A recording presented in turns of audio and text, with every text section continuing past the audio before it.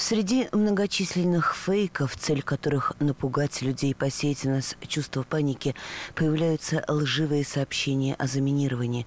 С начала спецоперации на Украине число таких сообщений возросло на порядок. Нам сообщают об этом сотрудники полиции, соответственно, создают следственная оперативная группа, и при участии нас и других специальных служб МВД России и МЧС России мы выезжаем на место происшествия, где уже обследуются объекты, которые попали под данную информацию. Атаки лжетеррористов, как правило, подвергаются социально значимые объекты – школы, торговые центры, места с массовым пребыванием людей. Да, проверяется каждая информация, проводятся э, какие-то проверочные мероприятия, и по результатам проверки решается вопрос о возбуждении уголовного дела. О том, что существует уголовное наказание за подобные звонки и информацию, необходимо помнить каждому. При поступлении информации обязательно обязательно проверяется, кто данную информацию отправил, либо каким образом она поступила в правоохранительные органы.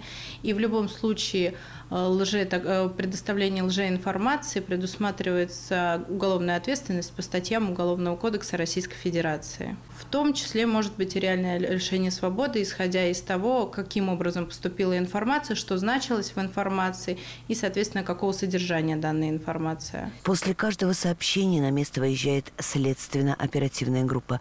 Поднимаются все оперативные службы. Якобы заминированное место тщательно проверяет кинолог со специально обученными собаками. Мы должны проверять каждое поступившее сообщение, соответственно, неважно, откуда оно поступило. Если гражданин, соответственно, получает да, такого рода информацию, то, конечно, надо звонить в полицию, чтобы мы отреагировали и поняли, действительно эта информация правдивая, либо это лже какой-то лже какая-то доступная нам информация. Ни одна из поступивших в последнее время информации о заминировании не подтвердилась. По некоторым сообщениям до сих пор проводится проверка.